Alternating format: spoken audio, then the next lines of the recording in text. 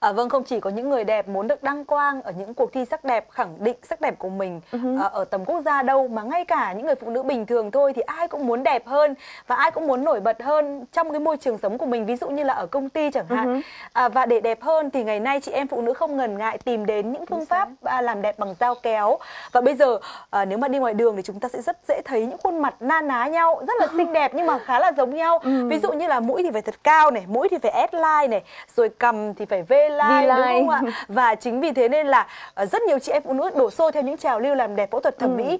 Tuy nhiên là không phải ai cũng thành công sau khi phẫu thuật thẩm mỹ gọi là phải, may mắn đúng không? Ờ, không phải ai cũng có thể trở nên đẹp hơn sau phẫu thuật thẩm mỹ và điều đáng quan ngại hơn nữa đó là không phải ai cũng được an toàn Chính sau xác. khi phẫu thuật thẩm mỹ và một vụ việc hết sức đáng tiếc cũng vừa xảy ra mới ngày hôm qua thôi đó là một cô gái ở tại Đắk Lắk sau khi mà tiêm filler để làm đẹp thì đã bị mù hoàn toàn một bên mắt trời ơi vâng. tiêm filler làm chất làm đầy đúng không vâng và cũng thông tin thêm với quý vị là theo đơn kiện thì nhân vật uh, sinh năm 1994 này quê ở Đắk Lắk nghe bạn bè giới thiệu nên đăng ký học nghề tại Thẩm mỹ viện HA ở đường Đặng Nguyên Cẩn, phường 13, quận 6 do bà TTNH làm đại diện với mức giá 10 triệu đồng một khóa học về xăm mi, nhấn mí, tiêm filler, tức là chất làm đầy. Thẩm mỹ viện sau đó bà H đề nghị tiêm thử filler cho chị L, L để biết được cảm giác mà bà mà tiêm cho mà tiêm cho người khác. Tuy nhiên, khi vừa mới tiêm được nửa mũi filler thì chị L thấy đau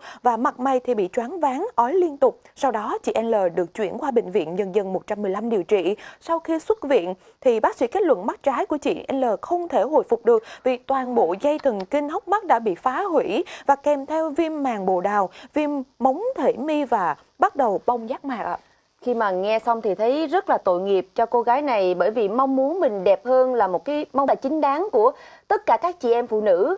Uhm, và theo linh đang được biết tiêm filler là một trong những phương pháp làm đẹp cũng mới xuất hiện được khoảng 2 năm trở lại đây. Và khi mà xuất hiện thì nó được ca ngợi như là một phương pháp thẩm mỹ uh, thần thánh vậy vừa an toàn vừa hiệu quả lại tiết kiệm nữa và cũng không gây ra bất kỳ đau đớn bởi vì không có sự xâm lấn nào vào da thịt của mình. Uh, và bạn bè xung quanh của Linh Đan thì thú thật cũng khá là nhiều người chọn phương pháp này. Làm về thì Linh Đan thấy là ai cũng có phần là đẹp hơn một chút xíu bởi vì những nếp nhăn là bị xóa đi nè và có hiệu quả tức thì không để lại một cái di chứng gì hết rồi cầm thì được kéo dài ra một chút xíu hoặc là mũi được nâng lên một chút mà không để lại bất kỳ một cái hậu quả gì. Nhưng mà những cái ca thành công thì chúng ta biết, còn những cái ca thất bại thì chắc chắn là nếu như không để lại hậu quả nghiêm trọng, chúng ta sẽ không thể nào được thông tin.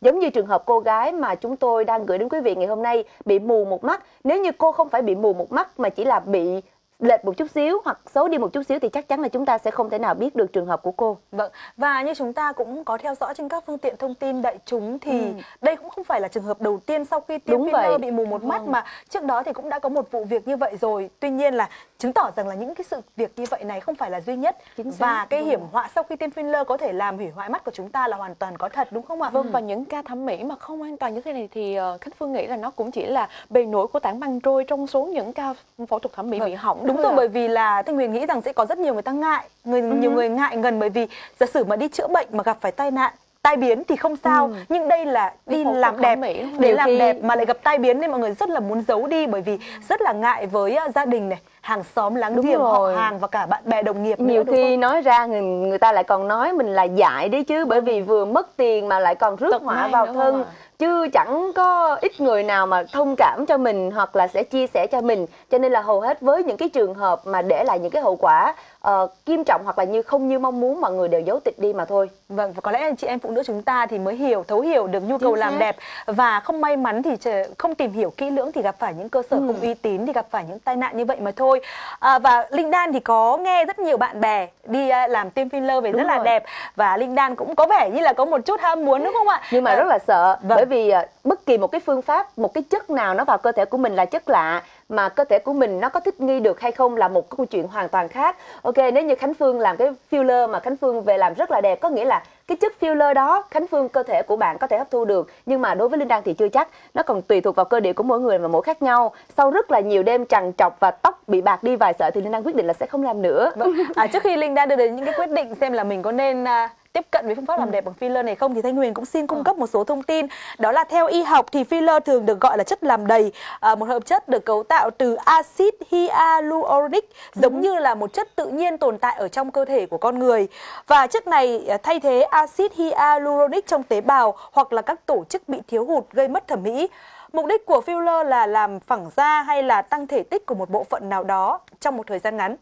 Filler thường được dùng để nâng mũi, độn cằm, tiêm môi hình trái tim, ờ, thậm chí là tiêm má baby hay là tiêm tạo hình tay Phật. Thời gian thẩm mỹ với filler thì rất nhanh chóng, chỉ trong vòng từ 10 đến 15 phút là đã xong rồi. Mọi người đã có thể có những cái thay đổi. Các bác sĩ sẽ sử dụng thuốc tê để gây tê tại chỗ, sau đó sẽ dùng mũi tiêm để uh, tiêm một lượng filler rất nhỏ vào cơ thể và cái chỗ mà cần làm đầy hoặc là làm phẳng. À, với một thời gian rất là nhanh chóng như vậy, không cần phải nghỉ làm lâu, không cần phải nghỉ dưỡng. Cũng không sợ mọi người biết là mình đã vừa sửa xong. Đúng rồi, giá thành thì lại rất là rẻ. Ví dụ như là tiêm filler vào mũi thì bao giờ cũng rẻ hơn làm mũi rất nhiều. Và không cần đến dao kéo, không gây quá nhiều đau đớn như vậy thì tiêm filler ngày nay đang trở thành một xu hướng thẩm mỹ mà các chị em rất là ưa chuộng. Vâng và cũng chính vì ờ, nó đang trở thành một xu hướng thẩm mỹ được rất nhiều chị em ưa chuộng. Cho nên theo các chuyên gia khuyến cáo thì ngoài việc sử dụng filler nếu như rõ nguồn gốc thì không nói gì nhưng nếu như những filler không rõ nguồn gốc tại các cơ sở chui bác sĩ không có tay nghề thì bản thân việc sử dụng filler cũng ẩn chứa đầy hiểm họa như làm liệt cơ mặt này tăng nếp nhăn nếu ngừng dùng đẩy nhanh quá trình lão hóa da và gây nên những biến chứng khó lường. Và việc tiêm filler nhằm mạch máu cũng gây nên mù mắt giống như là cái ví dụ trên ạ